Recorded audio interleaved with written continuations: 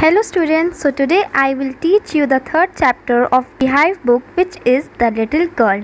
Okay so आज हम ये पूरा चैप्टर कम्प्लीटली पढ़ेंगे line to line detailed explanation में. सो so, स्टार्ट करते हैं. बिफोर यू रीड हमें एक रीडर के लिए नोट दे रखा होता है. सो फ़र्स्ट पॉइंट में लिखा है do you feel you know your parents better now than when you were much younger जब आप कम एज के थे अब आप ऐसा फील करते हैं, जब आप कम एज के थे, जब आप अपने पेरेंट्स को अच्छे से नहीं समझते थे, जबकि अब जो आपकी एज है, उसमें आप अपने पेरेंट्स को अच्छे से समझ पाते हो बिकॉज़ आप नाइन्थ क्लास में हो, इसलिए ऐसा क्वेश्चन आया है।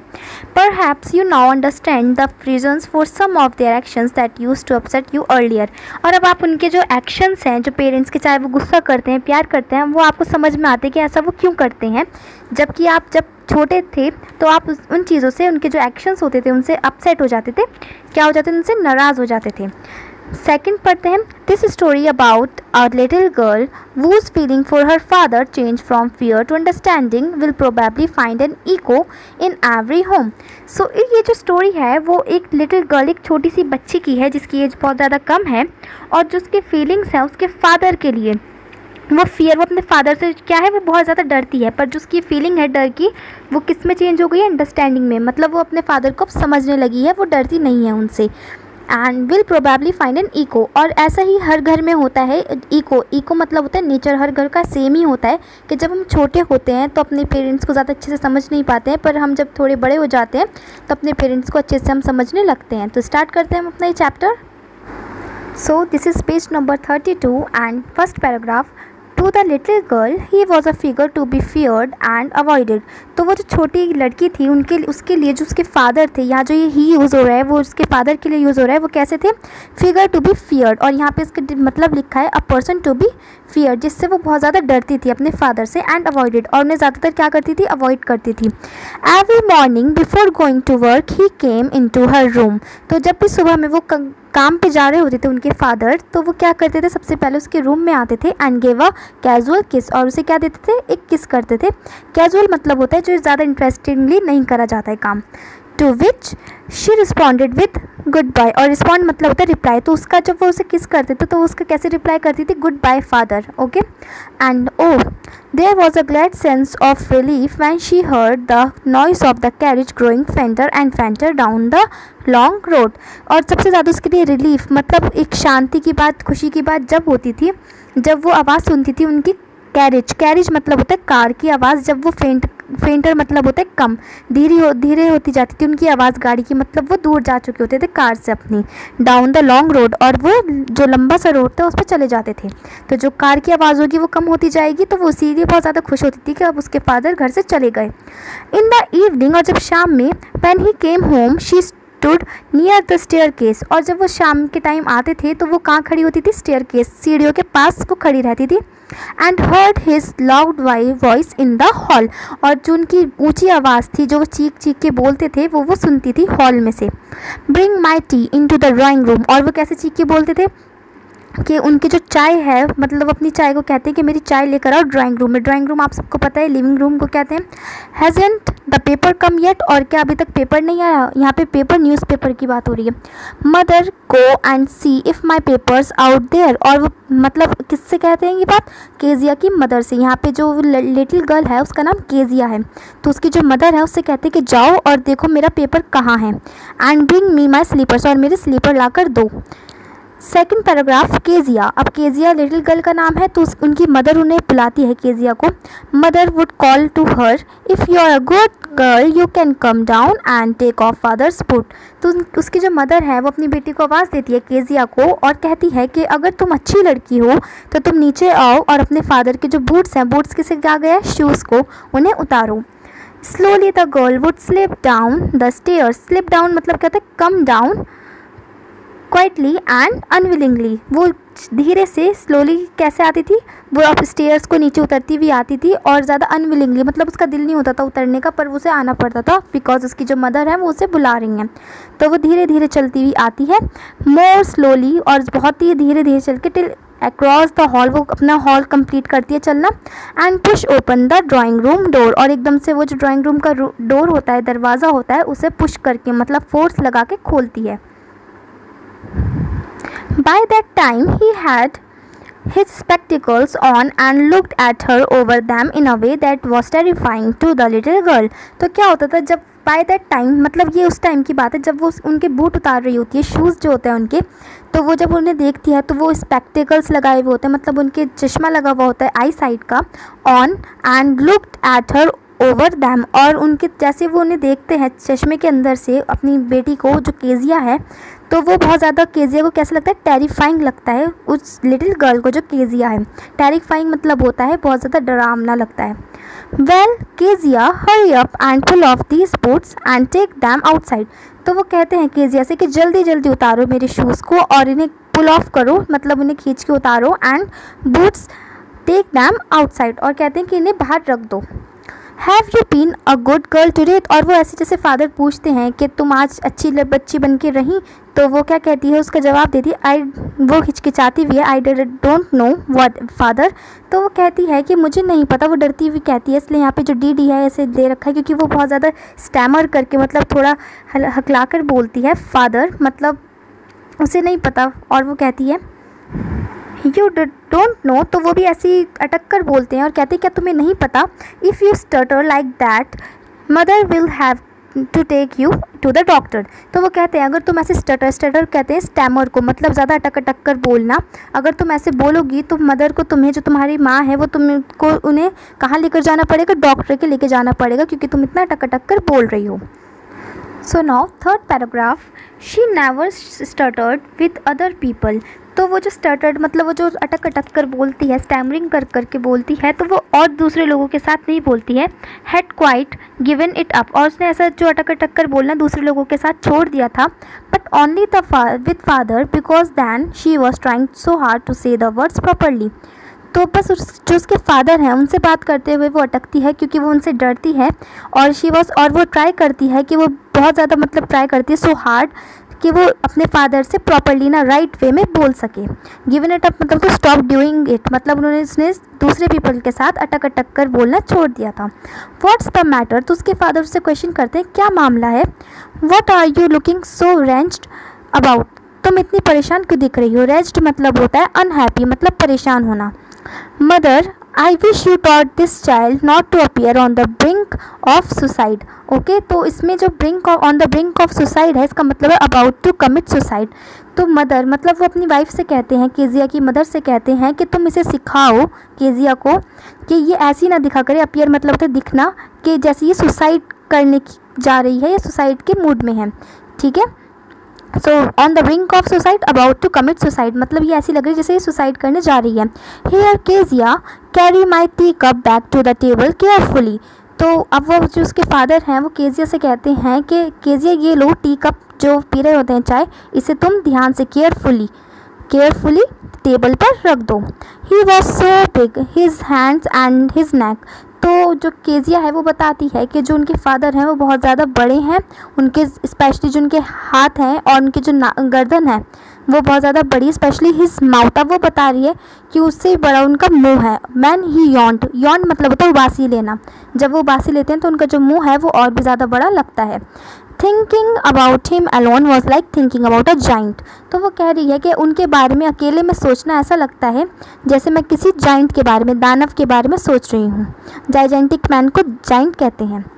Fourth paragraph on Sunday afternoon when mother sent her down to the drawing room to have a nice talk with father and mother तब जब संडे के दिन उसके फादर घर पे ही रहते हैं तो संडे के दिन में जब दिन हो रहा होता है तो उसकी जो ग्रैंड मदर है, उसकी जो दादी माँ है, वो केजिया को नीचे भेजती है डाउन मतलब नीचे क्या है ड्राइंग रूम में भेजती है, जिससे वो क्या करे नाइस टॉक अच्छी बातें करे अपने फादर और मदर से। But the little girl was girl always found mother reading and father stretch on on the sofa लेकिन जब भी वो नीचे जाती है संडे में आफ्टरनून में तो क्या होता है, वो क्या फाउंड करती है, क्या पाती है कि उसकी मदर तो रीडिंग कर रही है, कोई बुक पढ़ रही है, या न्यूज़पेपर और जो उसके फादर हैं, वो स्ट्रेच्ड आउट स्ट्रेच्ड आउट होता है मतलब फैल के किस पे सो रहे होते हैं, वो सोफ़ा पे सो रहे होते हैं। His handkerchief on his face handkerchief क्या होता है? रुमाल को हैंकी को हैंडकर कहते हैं। His feet on one of the best question और उसका, उनका जो एक पैर होता है, वो एक जो सबसे अच्छा वहाँ पे ड्राइंग रूम में, जो सबसे अच्छा क्वेश्चन होता है, उसके पैर में, उनके पैर के अंदर क्वेश्चन था वो। मतलब उन्होंने पैर रख रखा था उस क्वेश्चन पे, जो ड्राइंग रूम का सबसे अच्छा क्वेश्चन था। स्लीपिंग साउंडली एंड स्नोरिंग तो वो क्या कर रहे थे? कैसे सो रहे थे? आवाज़ करते हुए स्नोरिंग करते हुए। स्नोरिंग मतलब होता है स्लीप नॉइसली आवाज़ करते हुए खर्राटे ले रहे थे। So you can see in this picture that the little girl always found mother reading देखिए, आप देख सकते हैं कि जो उनकी मदर है, वो रीडिंग कर रही हैं। ये केजिया खड़ी है यहाँ पर। और जो उनके फादर हैं, वो स्ट्रेचिंग आउट मतलब लेटे हुए हैं, फैल के सोफे पे। और जो उनका हैंड का चीफ है, वो अपने मुँह पे रख रखा है। She sat on a stool वो स्टूल पे बैठ जाती है। Gravely watched him until he walk and stretched तो वो उन्हें वॉच सीरियस ग्रेवली मतलब होता है सीरियसली उन्हें वॉच देखती रहती है जब तक वो उठते नहीं हैं। जब वो उठते हैं और स्ट्रेच मतलब अंगड़ाई लेते हैं एंड आस्क द टाइम और केजे से टाइम पूछते हैं देन लुकड एट हर और एकदम से वो टाइम पूछते हुए केजिया की तरफ़ देखते हैं। डोंट स्टेयर सो केजिया और वो कहते हैं केजिया ऐसे मत घूरो। You look like a little brown owl तुम एक छोटी सी ब्राउन आउल की तरह लग रही हो मतलब एक भूरे उल्लू की तरह लग रही हो। One day when she was kept indoors with a cold और एक दिन ऐसा हुआ, जब उसे कोल्ड हो गया था, ज़ुकाम हो गया था तो वो घर के अंदर ही थी। Her grandmother told her that father's birthday was next week तो जो उनकी ग्रैंड मदर हैं, दादी हैं, वो उन्हें बताती हैं कि जो उनके फादर का बर्थडे है, वो नेक्स्ट वीक है and suggested she should make him a pin cushion for a gift out of a beautiful piece of yellow silk तो उसकी दादी जो है, वो सजेस्ट करती हैं, उसे कुछ आइडिया देती हैं कि तुम्हें क्या बनाना चाहिए? तुम्हें एक पिन कुशन बनाना चाहिए हैंडमेड अपने फादर के लिए फॉर अ गिफ्ट जो उन्हें तुम गिफ्ट करना। और किससे बनाना चाहिए? Beautiful piece of yellow silk yellow आपको पता है सिल्क फैब्रिक होता है, जो सॉफ्ट और शाइनी फैब्रिक होता है। येलो कलर का सिल्क से एक ब्यूटीफुल पीस लेना सिल्क का टुकड़ा लेना और उसे पिन क्वेश्चन बना देना। Fifth paragraph laboriously with a double cotton laboriously मतलब with a lot of effort और डिफ़िकल्टी मतलब उसने बहुत ज़्यादा हार्ड वर्क से और डिफ़िकल्टी से क्या करा? डबल कॉटन का कपड़ा लिया the little girl stitch three sides और उसने तीन साइड्स जो थी डबल कॉटन के कपड़े को लेके दो ली थी उसने लेयर्स कॉटन की और उसे स्टिच सील दिया। But what to fill it with और उसने फिर क्वेश्चन उसके माइंड में आया कि अब इसके अंदर हमें क्या भरना चाहिए? दैट वॉज़ द क्वेश्चन और ये एक सवाल था। The grandmother was out in the garden और जो उसकी ग्रैंड मदर थी, वो भी बाहर थी गार्डन में थी। And she wandered into mother's bed और bedroom to look for scraps और वो वंडर मतलब घूमती हुई अपने मदर के रूम, बेडरूम में आ जाती है, किसके लिए? स्क्रैप्स को ढूँढने के लिए। स्क्रैप्स कहते हैं, जो टुकड़े कपड़े के बचे हुए होते हैं, उन्हें स्क्रैप्स कहते हैं। On the bed table she discovered a great many sheets of the fine papers और उसने बेड टेबल मतलब बेड के पास जो एक टेबल होती है, छोटी सी रखी हुई होती है, उसे बेड टेबल कहते हैं। और उसने क्या करा? यहाँ पे वंडर्ड का लिखा है went into by a chance और वो घूमती हुई वहाँ आ गई और स्क्रैप्स उसे वहाँ पर क्या डिस्कवर हुए? शीट्स ऑफ़ फाइन पेपर्स उसे वहाँ पर बहुत सारे शीट्स मिले। मतलब पेपर की जो शीट्स होती हैं, वो मिली। गैदर्ड डैम उसने उन सबको कलेक्ट कर लिया। अब tore them into tiny pieces और उसने उन्हें फाड़ दिया टोर मतलब होता है फाड़ना छोटे छोटे उसके टुकड़े कर दिया एंड स्टफ्ड और उसे फिल कर दिया हर केस दैन और केस मतलब है उसी के अंदर जो उसने तीन स्टिच करे थे क्वेश्चन को मतलब तीन साइड से उसे स्टिच कर दिया था स्वीट अप एंड मतलब उसे फिर सिया उसने फोर्थ साइड को उसकी, तीन साइड तो उसने सी दी थी क्वेश्चन की और एक साइड उसने छोड़ी थी जिसके अंदर उसने क्या भर दिए? टीनी पीसेस भर दिए पेपर के।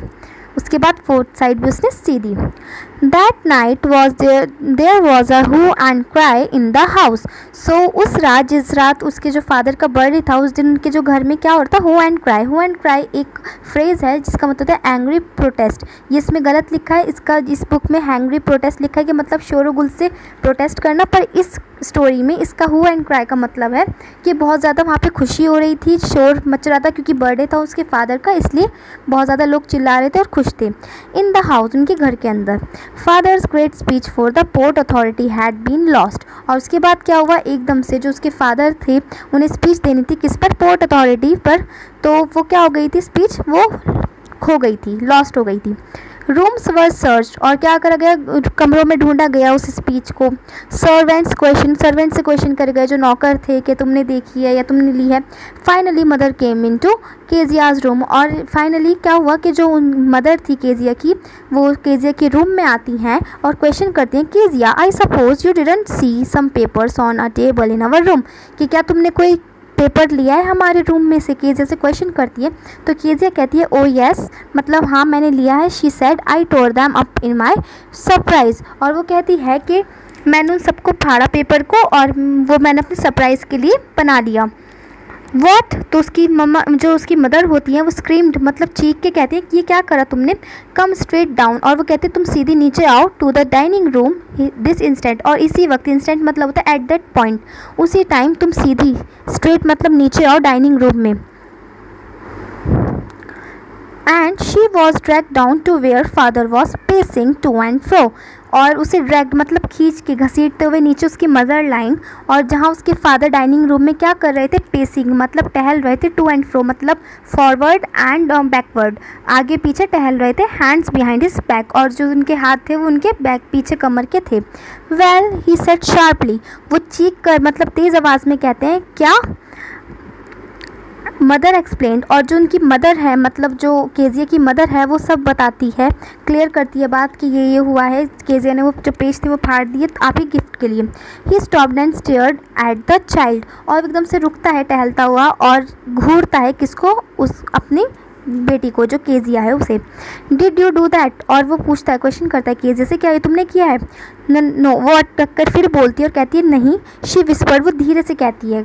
मदर, अब वो जो केजिया के फादर हैं, वो केजिया की मदर से अपनी वाइफ से कहते हैं कि go up to her room कि उसके रूम में जाओ ऊपर एंड फैच डाउन और वहाँ से लेकर आओ। फैच मतलब होता है जाकर लाना।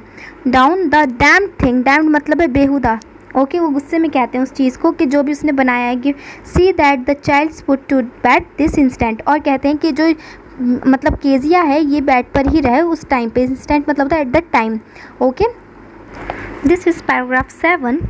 Crying too much to explain, she lay in the shadowed room watching the evening night light make a sad little pattern on the floor तो क्या होता है वो बहुत ज़्यादा रो रही होती है वो ले मतलब अपने बेड पर लेटी हुई होती है और जो आम इवनिंग की जो लाइट्स थी, जो शाम में लाइट्स चलती हैं, उसकी अंधेरे में लेटी होती है। शेडोड मतलब तो डार्कनेस में, वो कमरे में लेटी होती है, अंधेरे कमरे में। और वो देख रही होती है जो उसके फ्लोर पे लाइट्स गिर रही होती हैं इवनिंग लाइट मतलब जो शाम में घर में लाइट चलती है, उसकी जो शेडो थी, वो पड़ रही होती है उसके रूम में। Make a set little pattern on the floor और उसके जो लाइट्स के जो शेप हैं, वो बन रहे होते हैं फर्श पर, जो उसका कमरे का फर्श होता है। तो वो अंधेरे में लेटी हुई होती है अपने बेड पर और रो रही होती है। Then father came into the room with a ruler in his hand तो क्या करते हैं? उसके जो फादर हैं, वो उसके रूम में आते हैं और रूम में आकर वो क्या लेकर आते हैं? अपने साथ स्केल रूलर कहते हैं स्केल को okay I am going to beat you for this he said और वो क्या कहते हैं कि मैं तुम्हें आज इससे मारने आया हूँ। पीटने मतलब हिट करना आया है। ओह नो नो वो डर के कहती है, नहीं नहीं. शी स्क्रीम वो चिल्लाकर कहती है hiding under the bed clothes और जो बेड क्लोथ्स मतलब जो जो बेड पे रखा होता है, जैसे कि ब्लैंकेट होता है और कुशंस होते हैं, इन सब के पीछे वो छुप रही होती है डरते हुए। ही पुल्ड दैम असाइड और वो क्या करता है? वो उन सब चीज़ों को साइड में कर देता है और उसे खींच कर एक तरफ़ कर देता है लड़की बच्ची को। सिट अप और वो कहते हैं, बैठ जाओ। ही ऑर्डर वो ऑर्डर देता है and hold out your hands और कहते हैं कि अपने जो हैंड है उन्हें आगे करो। You must be taught once and for all not to touch what does not belong to you और वो कहते हैं कहते हैं, जो जिसके फादर हैं कि तुम्हें ये सिखाना पड़ेगा कि पहली बार और आखिरी बार तुम्हें ये सिखाना पड़ेगा कि जो चीज़ें तुमसे बिलोंग नहीं करती रिलेट नहीं हो करती, उन्हें तुम ना छुओ। But it was for your और बर्थडे तो वो जो केजिया है, वो रिप्लाई करती है, पर ये आपके डर के मतलब वो अटकती है और कहती है, आपके बर्थडे के लिए था. Down came the ruler on her little pink palms फिर भी क्या होता है, वो उन्हें, जो रूलर होता है, वो उसके हाथों पे पड़ता है, उसके जो हाथ हैं, वो कैसे हो जाते हैं? पिंक हो जाते हैं। एट पैराग्राफ आर्स लेटर कुछ कुछ घंटे बाद man grandmother had wrapped her in a shawl कि जब उसकी जो ग्रैंड मदर दादी माँ है, उसे रैप करती हैं रैप मतलब क्या होता है? कवर करती हैं। शॉल में एंड रॉक्ड हर रॉक्ड मतलब उसे झुलाती हैं इन द रॉकिंग चेयर जो रॉकिंग चेयर होती है, जो आगे पीछे हिलती रहती है, उसमें।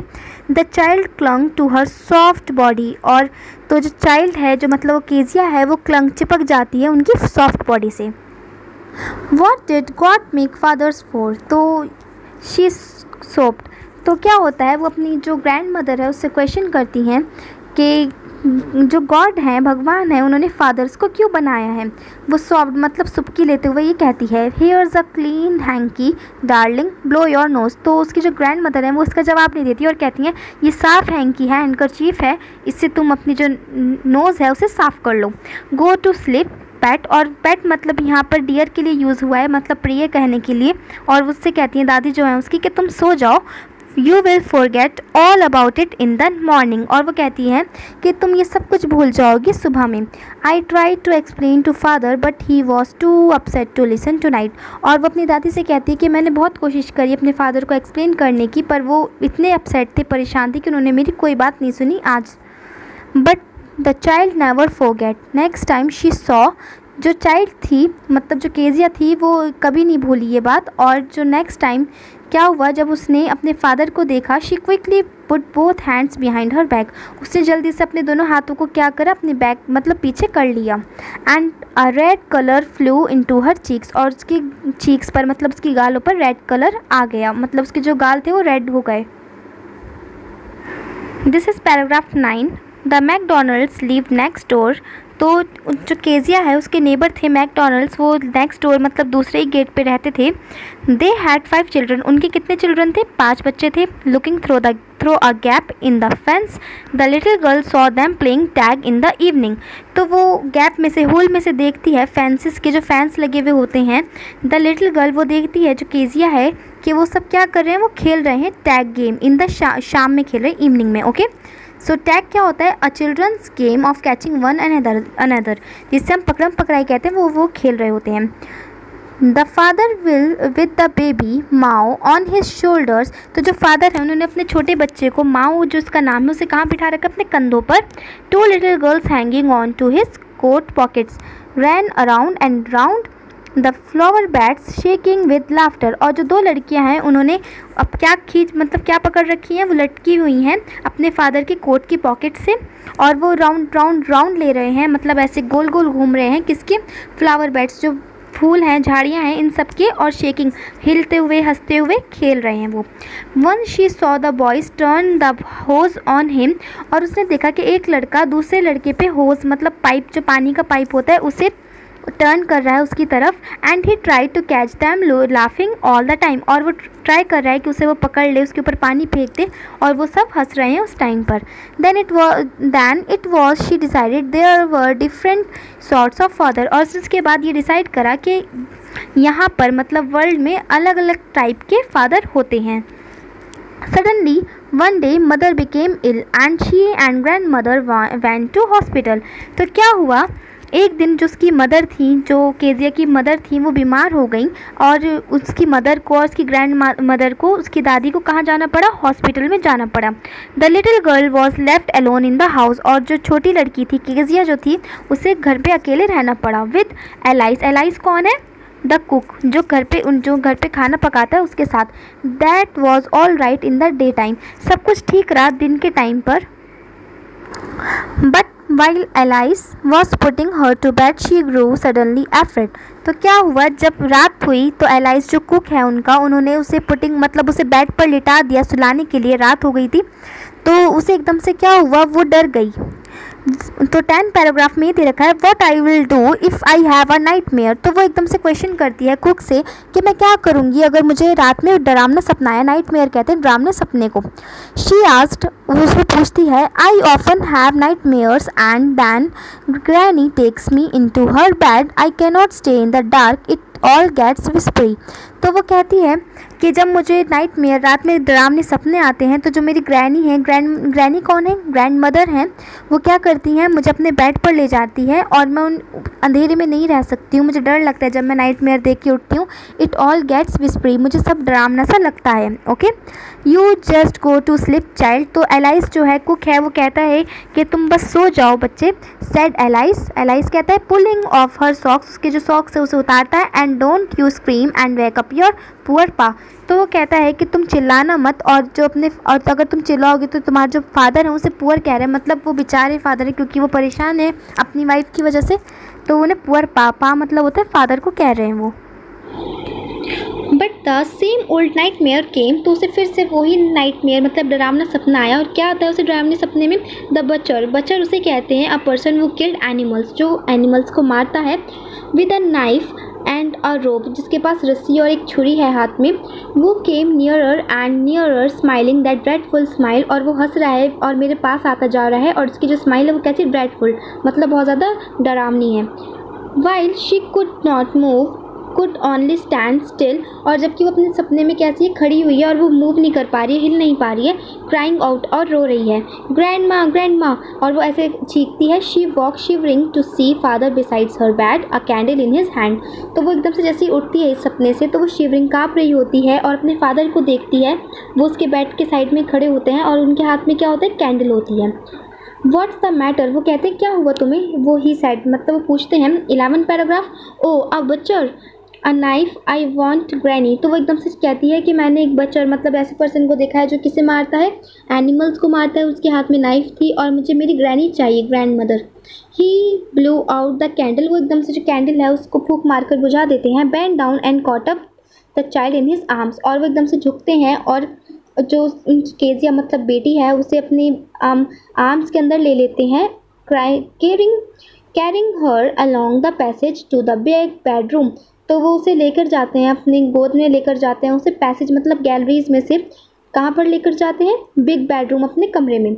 A newspaper was on the bed और न्यूज़पेपर वहीं पे पड़ा होता है, उनके बेड पे ही पुट अवे द न्यूज़पेपर और वो न्यूज़पेपर को साइड कर देते हैं then carefully tucked up the child उसके बाद वो आराम से अपनी जो चाइल्ड है, केजिया है, उसे लिटा देते हैं और ब्लैंकेट उड़ा देते हैं। ही ले डाउन बेसाइड हर और उसके साइड में ही वो लेट जाते हैं।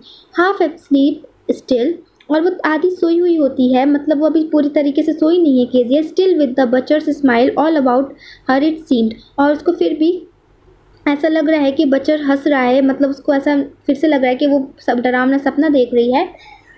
She crept close to him और क्रैप्ट मतलब होता है वो खिसक, सरकते हुए अपने फादर की तरफ़ आ जाती है। Snuggled her head under his arm snuggled मतलब होता है बहुत आराम से ओके कंफर्टेबली वो अपना जो सर है वो अपने फादर के आर्म से ऐसे लगा देती है held tightly to his shirt और उनकी टाइट शर्ट जो है उसे टाइटली पकड़ लेती है।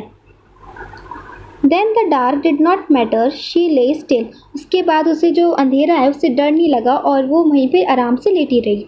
Here rub your feet against my legs and get them warm said father तो उस केजिया के फादर कहते हैं कि तुम मेरे फीट्स को अपने जो फीट्स है उससे रब कर लो, जिससे जो तुम्हारे पैर हैं, वो क्या हो जाएँगे? गर्म हो जाएँगे। So this is the last paragraph twelve tired out he slept before the little girl तो वो बहुत ज़्यादा थके हुए थे तो वो लिटिल गर्ल जो केजिया है, उससे भी पहले सो गए थे। अब funny feeling came over to her और उसे बहुत एक फ़नी सी फीलिंग आ रही थी केजिया को। Poor father not so big after all and with no one to look after him तो वो अपने फादर के बारे में फीलिंग करती है फील करती है कि उसके जो फादर हैं, बेचारे फादर वो ज़्यादा बड़े भी नहीं हैं after all and with no one और उनकी कोई केयर करने के लिए भी नहीं है कि कोई उनकी देखभाल करे। क्योंकि सब कहाँ पर उसकी ग्रैंड मदर और उनकी जो मदर है केजिया की, वो हॉस्पिटल में है। He was harder than grandmother वो कहती हैं कि ये थोड़े, जो मेरे फादर हैं, वो हार्डर हैं मतलब थोड़े से हार्ड हैं मेरी ग्रैंड मदर्स के मुकाबले but it was a nice hardness पर वो कहती है कि बहुत अच्छी हार्डनेस है। And every day he had to work and was too tired to be a mister McDonald तो वो कहती है कि इन्हें रोज़ इसके जो फादर हैं, उनसे काम करना पड़ता है और वो इतना थक जाते हैं कि वो मैकडोनल्ड मिस्टर मैकडोनल्ड जो उसके घर के साइड में रहते हैं वो ऐसे नहीं बन सकते। She had torn up all his beautiful writing और वो सोचती है कि मैंने जो भी उनका जो स्पीच um, का पेपर था जिसमें उन्होंने बहुत ब्यूटीफुली राइटिंग कर रखी थी वो भी मैंने फाड़ दिया। She stirred suddenly and sighed तो वो एकदम से हिलती है और एक लंबी सांस लेती है। व्हाट्स द मैटर तो उसके जो फादर हैं वो पूछते हैं क्या मैटर है? अनदर ड्रीम और वो पूछते हैं कि तुम्हें कोई और सा भी ड्रीम आया है? Oh said the little girl वो कहती है, ओ my head's on your heart वो कहते हैं, मेरा सर आपके दिल के ऊपर रखा हुआ है।